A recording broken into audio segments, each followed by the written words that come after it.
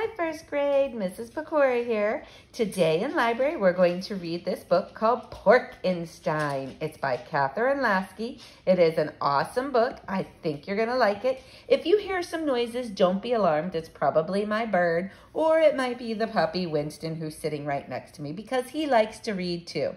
So let's read and see what Porkenstein is all about by Kathryn Lasky. Whoops in there, boys and girls? Okay, here we go. Porkenstein by Kathryn Lasky.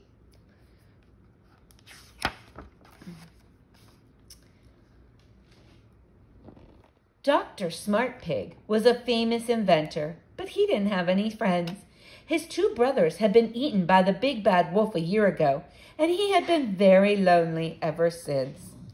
Tomorrow is Halloween, he thought sadly. What fun is Halloween without any friends?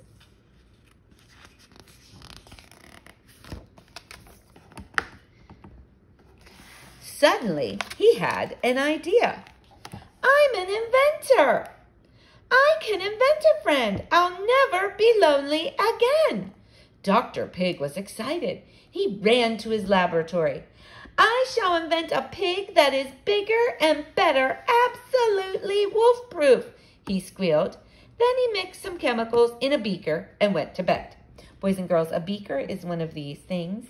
It's a glass jar that holds liquids and scientists use them. At dawn, Dr. Pig raced to his laboratory. The beaker glowed mysteriously. Then something leaped up and squirted him in the eye. Oh dear, said Dr. Pig. Something's gone wrong. I created a pigfish. He put the pigfish into an aquarium and began to mix up a new batch of chemicals, this time with less salt. He put the beaker in an incubator to keep it warm, and off he went to weed his garden.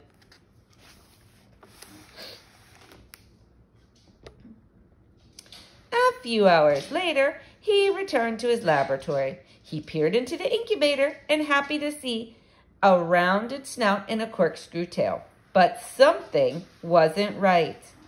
Oh no, he cried. It has wings.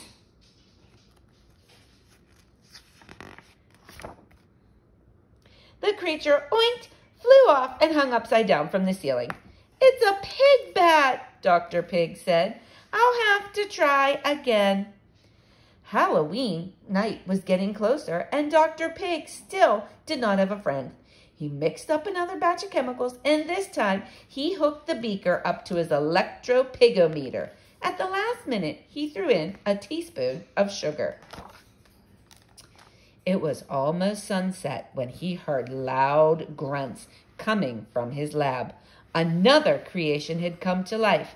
There, on the table, was the biggest pig he had ever seen.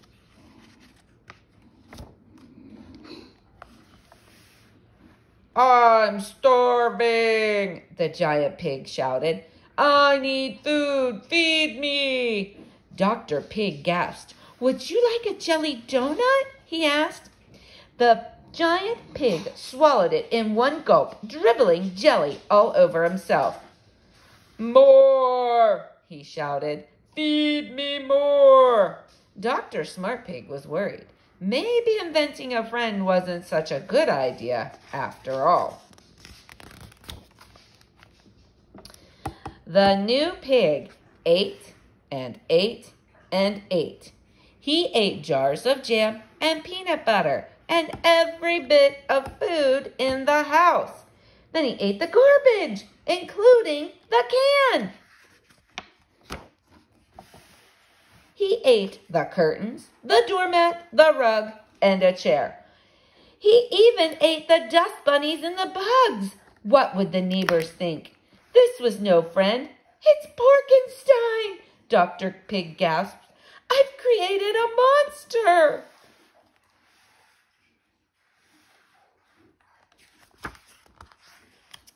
It did not take long for stories about Porkenstein to spread. Soon, everyone for miles around was talking about the enormous pig.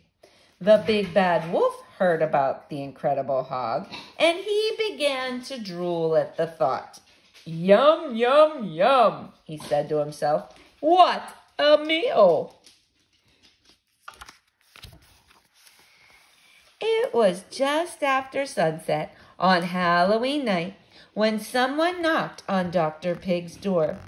Oh no, it's our first trick or treater and you've eaten all the candy! Dr. Pig began to cry. Outside was a drooling little old lady with fangs, long furry ears, and a tail tucked up under her dress. it's him! Dr. Pig whispered. He began to shake with fear. Who? The big bad wolf, the one who ate my brothers.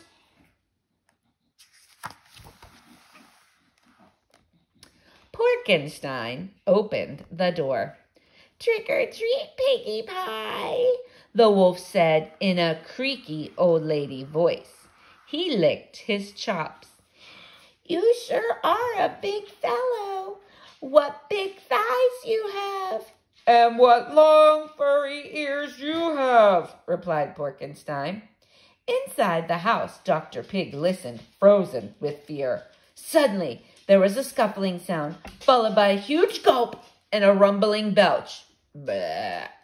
Then, silence. Uh-oh, boys and girls, who do you think ate who? Let's turn the page and find out. Dr. Smartpig peeked out the door. you didn't, he said and gasped in disbelief.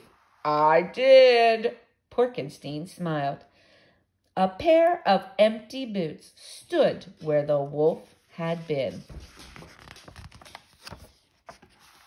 That night, Dr. Pig could not believe how lucky he was. Porkenstein, he said, I'll never have a better friend. You mean I'm not just an invention? Porkenstein asked. No, you're a true friend. The big bad wolf was gone forever, and Dr. Pig would never have to be lonely again. Now it was time for fun. I'm still hungry, said Porkenstein. Let's go trick-or-treating. So the two pigs put on costumes, and off they went. Sorry, boys and girls. Thing is really shaky.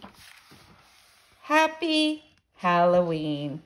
I hope you enjoyed the story, boys and girls. It's one of my favorites. Have a great day.